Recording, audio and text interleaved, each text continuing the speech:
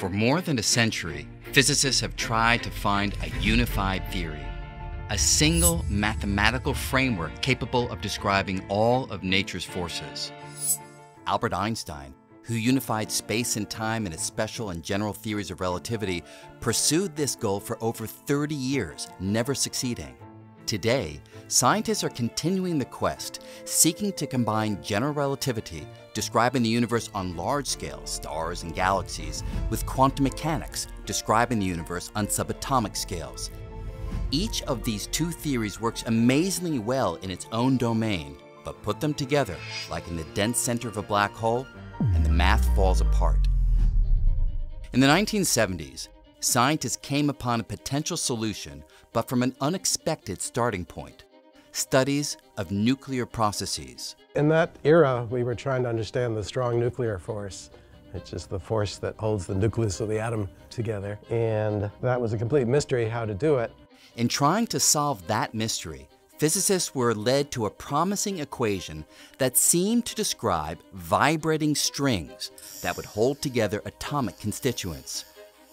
But within just a few years, a different theory proved to be the right solution for understanding the strong nuclear force, and so strings no longer seemed necessary. Almost all of these several hundred people stopped working on string theory at that time, and only a handful of diehards continued to pursue them. The few of us who continued working on string theory felt that the mathematics was so beautiful and compelling that this theory had to be good for something.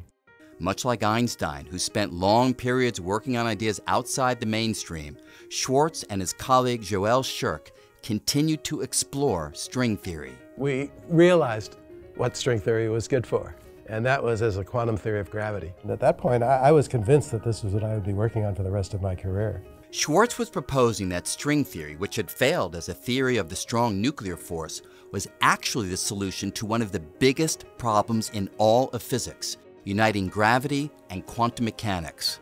When Schwarz excitedly announced this prospect, few people paid any attention. The field just wasn't ready. So, Schwarz and a new convert, Michael Green, spent years developing the theory mostly on their own. Then, in 1984, they achieved a breakthrough, showing that the mathematics of string theory deftly avoided potentially lethal technical issues. And this time, the community of physicists heard them.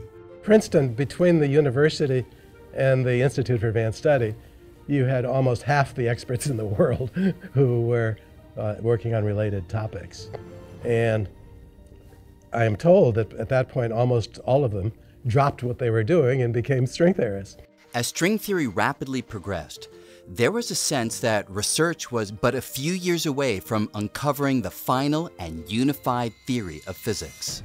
More than 30 years later, the goal of a fully unified and thoroughly tested theory has yet to be achieved, but enthusiasm remains high.